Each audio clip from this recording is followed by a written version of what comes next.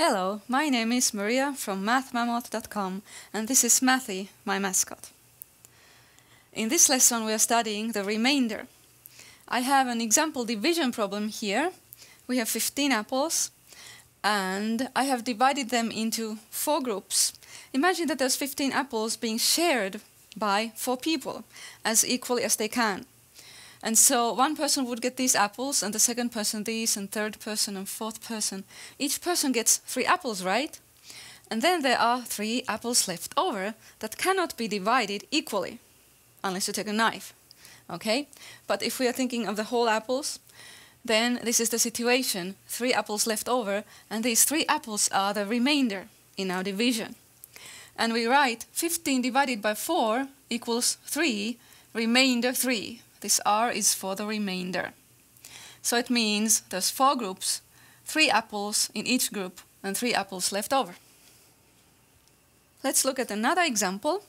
We have here lots of blue dots. Oh, Mathy says they're blueberries. Yes. Divide them into three groups as equally as you can. Okay, and here's my division, 20 divided by 3. Okay, let me see. If I put here 6, 6, and 6, okay? So that's my division as equally as I can do it. You can also think of 20 blueberries and 3 people sharing them. And there's 2 left over. The answer though is how many in each group? 6. And remainder 2. You can also check this division, just like you can check any division by multiplication. You multiply 6 times 3, okay? Or 3 times 6, either way. So you get 18. That's all those blueberries in these three groups here. And then you add 2, and that gives you the total number 20 over here. Now you try this one yourself. Can you write a division here with the remainder and divide these cherries into five groups as equally as possible?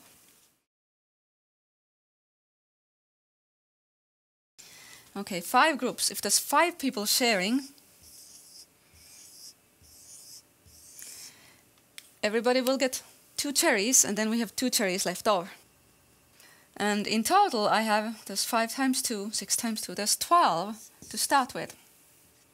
Divided by 5, and equals 2 in each group, and then remainder 2. Now, in this problem, we are no longer looking at sharing divisions.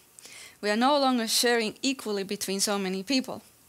Instead, we're going to make groups of a certain size, groups of six this time. And in the drawing, it's pretty easy now. I'm just counting six. It's one group of six, another group of six, and then I can't anymore make groups of six. These three are the remainder, the leftovers. And this time the answer is how many groups? Two groups. Okay, notice this. The answer is not how many in each group because I was told how many in each group. Groups of six. There's six in each group. The answer is how many groups? Okay, two. But the remainder is still those leftovers, those three red apples, cherries, whatever. And once again, we can check this division by multiplying. You multiply these two numbers. 6 times 2 to get how many are in the groups, and then add the leftovers, 3, to get the total number. Over here, let's practice some more with these stars. Divide all these stars into groups of 3. You can try to do it yourself while I actually do the groups. Groups of 3. Okay, I get one here. Another one. And one more. What is my division sentence that I can write here?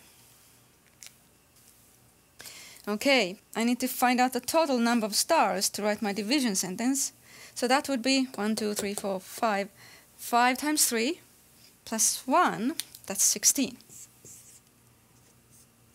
I'm making groups of 3, so division by 3. And then, how many groups? 5 groups, and remainder 1. Now over here, divide into groups of seven. And, uh, is that Mathy? Oh, okay. Blueberry cookies? Make them into blueberry cookies, he's saying. Alright, here we go. Some blueberry cookies for you. Divide into groups of seven. One, two, three, four. Yep. Oh, that goes easily. Look, there's seven in a row. So I get three groups, right? And three left over. What is the division sentence now? My total number of cookies would be 3 times 7, 21, plus 3, that's 24, dividing by 7, okay? And I get 3 groups, remainder 3. Is that Mathy? Oh, look what he did. He ate all the cookies.